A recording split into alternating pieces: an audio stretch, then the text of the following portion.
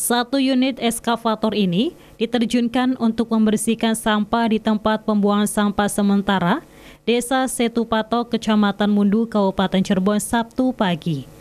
Tumpukan sampah ini sangat mencemari lingkungan, khususnya mengganggu aktivitas masyarakat yang melintas di sekitar terowongan tol Setu Patok. Setidaknya 14 dump truk disiapkan untuk mengangkut tumpukan sampah ini.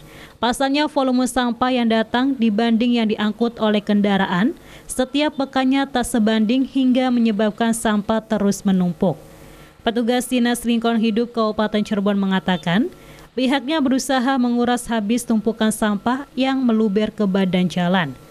Ke depan diharapkan ada kerjasama yang baik antara Pemdes, masyarakat, dan dinas untuk meminimalisir tumpukan sampah. Hari ini kita turunkan 14 unit armada untuk pengurusan di desa Setupatok. Hmm. Uh, ke depan Setupatok juga akan melakukan upaya bersama pelayanan angkutan kita. Nah, harapannya ketika ini sudah dibersihkan tidak ada lagi yang namanya penumpukan-penumpukan sampah di jalan di uh, sepanjang jalan Patok menuju desa-desa yang lainnya.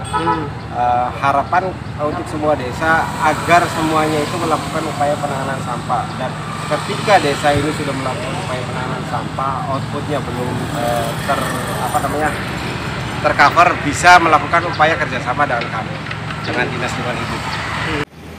Alhamdulillah ya pada hari ini telah diangkut eh, sampah yang memang sudah menggunung di wilayah kami di wilayah Desa Sukatok yang mana kami sudah berusaha maksimal mungkin akan tetapi baru hari ini bisa terrealisasi dan atas kerjasamanya kami ucapkan terima kasih kepada Dinas Lingkungan Hidup yang sudah merespon eh, tujuan dari kami untuk pengangkutan sampah di desa kami yang mana desa kami di sini uh, bukan wilayah kami saja, akan tetapi dari tetangga desa juga membuang sampah di area pembuangan sampah di desa Situpatok.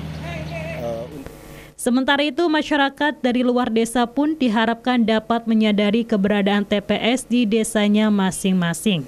Sehingga tidak ada lagi warga yang membuang sampah di luar TPS yang telah ditentukan.